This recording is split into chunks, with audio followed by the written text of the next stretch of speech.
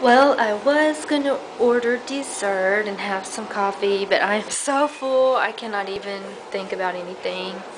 Da Romano was a wonderful place. Here's their world famous art collection. Art historians even study this collection. Some of it I think has more significance and it's really old and some of it I think is just modern but they are known for their art collection here.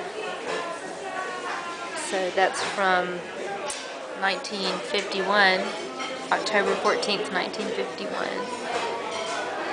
Such a nice place. I had a very enjoyable time. This used to be a seaport many moons ago.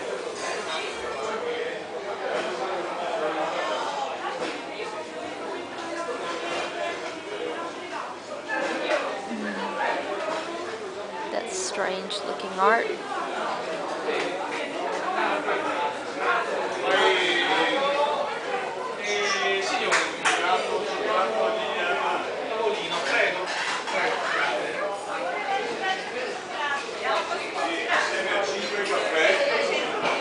All right.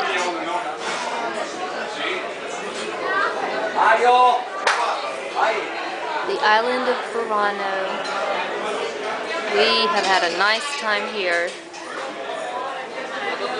There's the world famous risotto we tried. So it's a really nice restaurant, really nice place. We've had a lot of fun here. Sorry. That chocolate mounded cake looks excellent, but I'm too full.